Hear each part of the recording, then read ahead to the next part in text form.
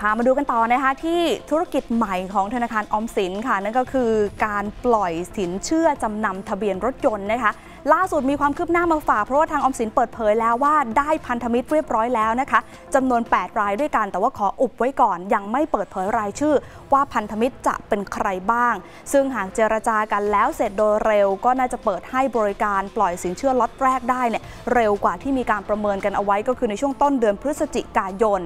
โดยคุณวิทัยรัตนากรค่ะ ผู้อำนวยการของธนาคารออมสินบอกว่า คณะกรรมการบอร์ดของออมสินนะคะ ตอนนี้พิจารณารายชื่อผู้ที่เสนอร่วมทุนกับธนาคาร ในการตั้งบริษัทประกอบธุรกิจจำนำทะเบียนรถยนต์แล้ว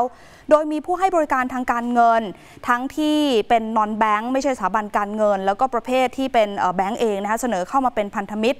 8 รายด้วยกัน แต่ว่าตอนนี้ก็ขออุบรายชื่อไว้ก่อน ยังไม่สามารถเปิดเผยได้ เพราะว่ายังมีขั้นตอนที่ต้องดำเนินการนะคะ นั่นก็คือการเข้าสู่ขั้นตอนการเจรจาแล้วก็คัดเลือกแต่ก็ยอมรับว่า 8 รายเนี่ยเป็นผู้ที่มีศักยภาพในการดำเนินธุรกิจ ด้านสินเชื่อจำนำทะเบียนรถตามเจตนารมณ์ของธนาคาร ที่อยากจะตีตลาดอยากจะรุกธุรกิจนี้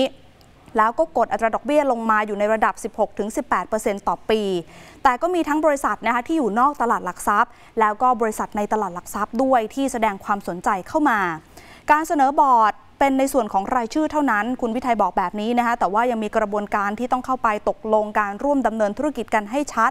ฉะนั้นก็อยากให้เข้าใจว่าตอนนี้ยังเปิดเผยรายชื่อใครไม่ได้จริง ๆ ค่ะ เพราะต้องเจรจากับแต่ละรายก่อน โดยเฉพาะเงื่อนไขต่างๆนะคะ แต่ที่ทางอมสินคัดเลือกมานั้นเนี่ยเป็นบริษัทที่ทำธุรกิจมานานค่ะ มีความเชี่ยวชาญในการให้บริการ ซึ่งธนาคารอมสินเองมีเงินทุนรองรับ มีฐานลูกค้า แล้วก็มีเครือข่ายของแต่ละสาขาอยู่แล้ว อย่างไรก็ตามทางธนาคารก็จะเร่งดำเนินการนะคะ หากสามารถจบการเจรจาได้เร็วก็มีความเป็นไปได้ค่ะ ที่จะเริ่มธุรกิจใหม่นี้ ในช่วงเดือนพฤศจิกายนปีนี้เลย ซึ่งก็เร็วกว่าเป้าหมายเดิมที่ตั้งไว้ว่าจะเริ่มให้บริการในช่วงต้นปีหน้าที่ผ่านมาธนาคารก็ได้ส่งหนังสือถึงบรรดานอนแบงค์นะคะที่มีทุนจดทะเบียนไม่ต่ำกว่า 50 ล้านบาท เพื่อให้ยื่นข้อเสนอ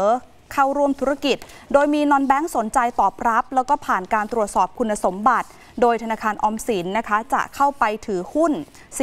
49%เพื่อกำหนดเป้าหมาย แล้วก็วางแผนงานร่วมกัน ในการปล่อยสินเชื่อรายย่อย ซึ่งคุณวิทัยก็ยืนยันว่าการเข้ารุกธุรกิจสินเชื่อจำนำทะเบียนรถยนต์นั้น ธนาคารสามารถแข่งขันได้นะคะ โดยต้องการจะช่วยเหลือลูกค้ารายย่อย ทั้งสินเชื่อจำนำทะเบียนมอเตอร์ไซค์จำนำทะเบียนรถยนต์ รถกระบะรถเก๋งมั่นใจว่าการรุกธุรกิจในครั้งนี้ จะทำให้อัตราดอกเบี้ยในตลาดค่ะลดลงมาไม่เกิน 18%ต่อปี จากปัจจุบันอยู่สูงนะคะ24-28%ต่อปีค่ะ ขอบคุณที่ติดตามทีเอ็นช่อง 16 ค่ะ และอย่าลืมกด subscribe กดกระดิ่งด้วยนะคะ เพราะว่าเรายังมีวิดีโอที่น่าสนใจอีกเพียบเลยละค่ะ และหากผู้ชมไม่อยากพลาดการติดตามรายการสดนะคะ ก็สามารถเข้าไปดูกันได้ค่ะที่ Facebook Teen N Live หรือจะติดตามผ่านช่องทางอื่น ๆ ได้อีกเพียบเลย สะดวกมาก ๆ นะคะ เพียงแค่กดลิงก์ที่ใต้วิดีโอด้านล่างนี้เลยค่ะ